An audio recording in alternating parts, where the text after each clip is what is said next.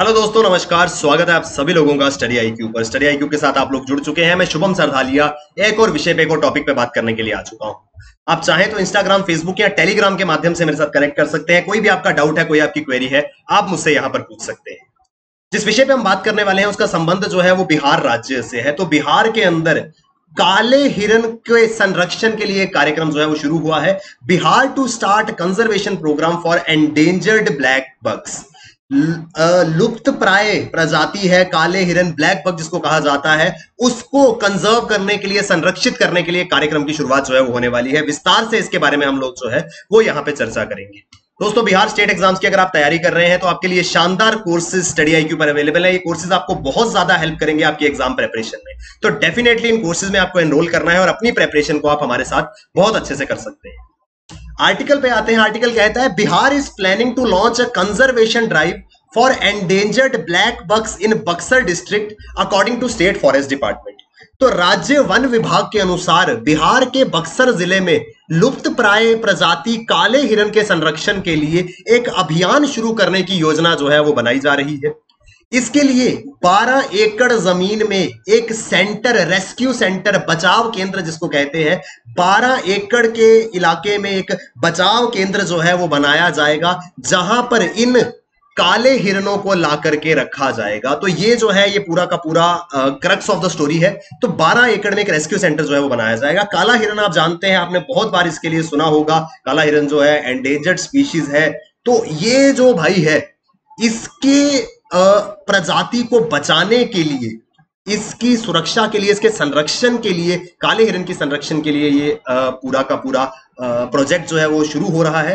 Hundreds of blackbuck locally known as kala hiran और कृष्णा मृग। काला हिरण या कृष्ण मृग जिसको कहा जाता है, वो बक्सर और उसके आसपास के जंगलों में खुलेआम घूमते हैं। सिर्फ़ बक्सर ही नहीं, भोजपुर, कैमोर जिला, यहाँ पर आमतौर पर स्वतंत्र रूप से घूमते हुए ये काले हिरण जो है वो देखे जाते हैं। The population of the species is threatened by wild animals and poaching तो जंगली जानवरों से इनकी आबादी को खतरा है, साथ ही साथ पोचिंग यानी कि अवैध शिकार से। अब काले हिरन के बारे में तो आपने सुना ही होगा, वो आप सभी जानते हैं। तो काले हिरन को खतरा है कि लोग आते हैं, गोली चला करके काले हिरन को मार डालते हैं। तो ये पूरे के पूरे खतरे जो हैं, ये काले हिरन के ऊपर है। सबसे ज़्यादा खतरा इसको जंगली जानवरों से है और अवैध रूप से शिकार का खतरा जो है।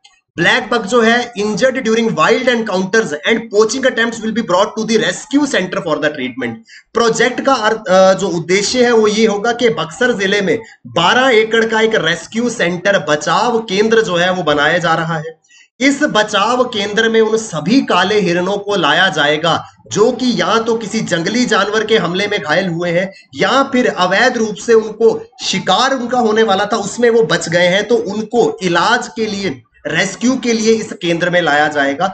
इस रेस्क्यू केंद्र को इस रेस्क्यू सेंटर को बनाने की ये योजना जो है वो रहने वाली है, ताकि काला हिरन, ब्लैक बक को बचाया जा सके। अब देखें अगर हम तो बिहार के अंदर ये है बक्सर जिला। तो बिहार के बक्सर ज़िले में जो है ये रेस्क्यू सेंटर बनने वाला है। बक्सर जिला जो है आप जानते हैं, यहाँ पर इसके करीब से गंगा नदी होकर के गुजरती है। तो इस वजह से ये जो गंगा नदी के आसपास का जंगलों का इलाका है, वहाँ पर इनकी प्रजाति जो है वो काफ़ी ज़्यादा मात्रा में पाई जाती है। इस वजह से यहाँ पे सेंटर जो है वो बनाया जा रहा है। The natural habitat of the blackbucks are regularly threatened by the destructive floods in Ganga and Son river तो दो खतरे जो है, वो इनको मैंने आपको बताया। एक खतरा है जंगली जानवरों से, दूसरा खतरा है शिकारियों से। लेकिन उसके अलावा भी इन काले हिरणों को निरंतर खतरा बना रहता है। क्यों? क्योंकि इनके जो प्राकृतिक आवास है, जहाँ पर नेचुरल हैबिटेट में ये रहते हैं उन इलाकों को खतरा जो है वो रहता है बाढ़ से। तो ऑलमोस्ट हर साल गंगा या सोन नदी में बाढ़ आने की वजह से इनके घर जो है, जहाँ ये रहते हैं, जो इनका प्राकृतिक आवास है, वो बाढ़ में बह जाता है और अल्टीमेटली जब इनका घर नहीं रहेगा तो इनके सस्टेनेंस की, इनके रहने की समस्या जो है वो आएगी। तो तीन खतरे मैंने आपको बता दिए। पहला खतरा जंगली जानवरों से, दूसरा खतरा शिकारियों से और तीसरा खतरा जो है वो गंगा और सोन नदी में आने वाली बाढ़ से।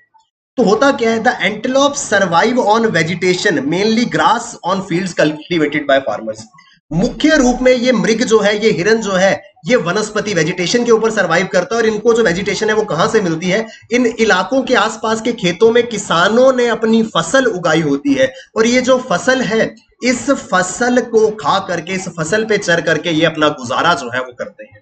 Local communities are friendly to them सबसे अच्छी बात क्या है कि ये जो आसपास के इलाके हैं, वहाँ के जो स्थानीय समुदाय हैं, वो उनके लिए फ्रेंडली हैं and never attempt to hurt them for from damaging the standard standing crops due to religious believes ये काले हिरन जो है, ये मृग जो है, ये किसानों की फ़सल के ऊपर अपना फ़सल को जो है वो चारा समझ करके खाते हैं, लेकिन फिर भी जो स्थानीय लोग हैं, स्थानीय समुदाय है, वो इनको हार्ट नहीं करते हैं। इवन दो ये उनकी फ़सल को खराब कर रहे हैं, फिर भी वो इनको कुछ नहीं कहते, क्योंकि उनका एक बिलीफ है, एक धार्मिक मान्यता है कि इसको नुकसान जो है वो नहीं पहुंचाना है।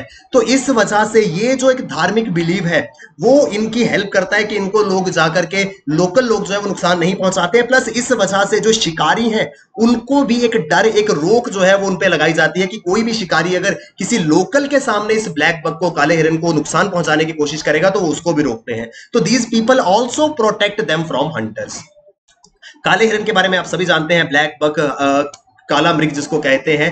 इसका साइंटिफिक नेम जो है वो antelope cervicapra antelope cervicapra जो है इसका साइंटिफिक नेम है. इंडियन एंटीलॉप भी इसको कहा जाता है. Is a special antelope native to India and Nepal Bharat और नेपाल में इसकी प्रजाति जो है वो पाई जाती है.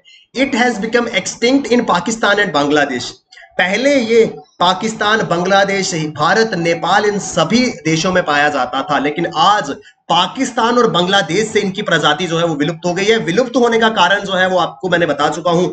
वाइल्ड एनिमल से खतरा, शिकारियों से खतरा।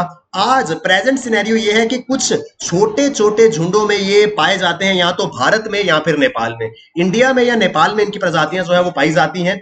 ये जो ब्लैक बक है they come under the endangered animal list in wild life protection act black buck काला हिरन जो है वो वाइल्ड लाइफ प्रोटेक्शन एक्ट 1972 के एंडेंजर्ड कैटेगरी में आता है। Hurting them is a criminal offence under the act and is punishable with a fine और imprisonment up to three years अगर इसका शिकार कोई करता है इसको कोई मारता है तो या किसी प्रकार का नुकसान इसको पहुँचाने की कोशिश करता है तो क्योंकि ये एंडेंजर्ड स्पीशीज है ब्लैक बग की तो इसको जो है वो आ, नुकसान पहुँचाने पे तीन साल तक का आ, कैद हो सकती है या फिर एक हैवी फाइन जो है वो नुकसान पहुँचाने वाले पे लगाया जा सकता है।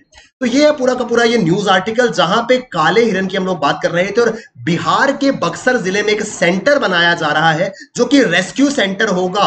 एक राहत के लिए इनको जो है मान लीजिए कोई भी ब्लैक बक जो है वो किसी प्रकार से इंजर्ड हो जाता है तो उसके ट्रीटमेंट के लिए, उसके इलाज के लिए, उस इलाज केंद्र में, उस रेस्क्यू सेंटर में इसको जो है वो लाया जाएगा। ये है दोस्तों पूरा का पूरा न्यूज़ आर्टिकल जिसके विषय में हम लोग चर्चा कर रहे थे। आई होप हमको ये आर्टिकल जो है वो समझ में आया होगा। बिहार स्टेट एग्ज़ाम्स की अगर आप तैयारी कर रहे हैं तो आपके लिए बेहतरीन courses Bihar Bihar PSC judiciary या कोई भी एग्ज़ाम आप बिहार स्टेट का दे रहे हैं तो आपके लिए स्टडी आईक्यू के कोर्सेज अवेलेबल हैं। डेफिनेटली इन कोर्सेज में एनरोल कीजिए और अपनी प्रेपरेशन को हमारे साथ बेहतर बनाइए। थैंक यू वेरी मच दोस्तों। All the best keep working hard bye bye take care जय हिंद।